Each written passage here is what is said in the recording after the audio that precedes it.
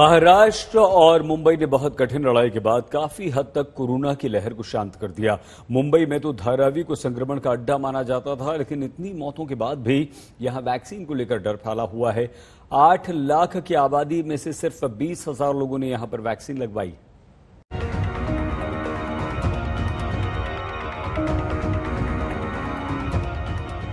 धारावी ने एक बार फिर कर दिखाया है। सोमवार को धारावी में कोरोना के बस दो ही केस आए हैं।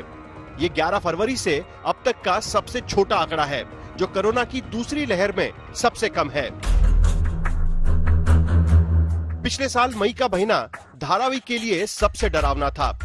मई 2020 में जब धारावी में कोरोना की पहली लहर पीक पर थी, धारावी में घुसने से डर लगता था। तब हमने आपको धारावी की ग्राउंड रिपोर्ट दिखाई थी।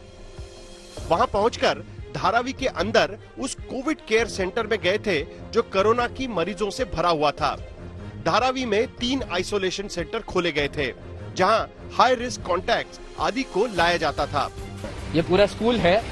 इसमें 10-15 स्कूल है। बहुत सारे स्कूल है। छोटे छोटे कोई मराठी मीडियम है कोई उर्दू मीडियम है कोई इंग्लिश मीडियम है तमिल मीडियम है। ऐसे छोटे छोटे काफ़ी स्कूल है ये बड़ा सा कैंपस में।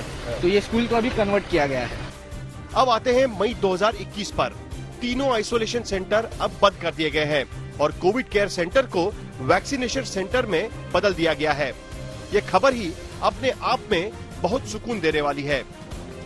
जब धारावी कोरोना की पहली लहर से जूझ रहा था, यहाँ डर का माहौल पाया गया था। बीएमसी कर्मचारी घूम घूम कर लोगों की स्क्रीनिंग कर रहे थे। लोगों के काम धंधे दुकानें बंद थी। पर अब दुकानें खुली है। कोरोना का खौफ कम हुआ है। मई 2020 और मई 2021 का अंतर साफ़ नज़र आ रहा है।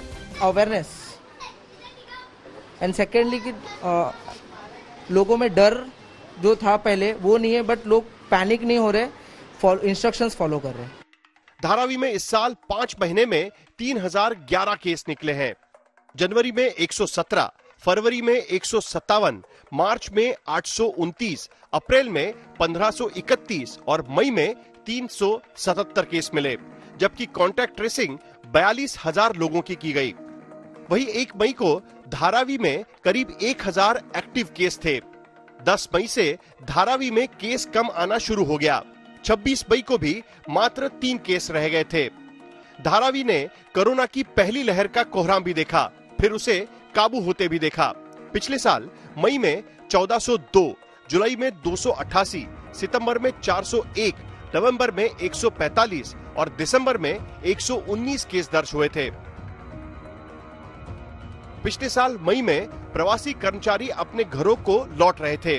जो नहीं जा पाए, वो डरे हुए थे। काम धाम नहीं था। धारावी में मशीनों का शोर शांत हो गया था।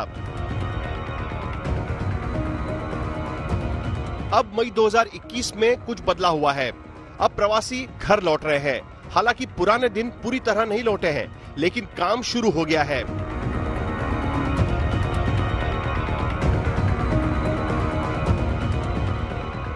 बंद हुआ था पिछले साल? बंद था छह सात महीना बंद था। अच्छा। हाँ। कितने मजदूर काम कर रहे थे बारह लोग थे अभी लेकिन है पाँच लोग। तो सब लोग वापस चले गए थे सब वापस चले गए। और लाए कैसे फिर इनको? पैसा भेज भेज के खर्चा पानी दे देगा कैसे भी करके लाए।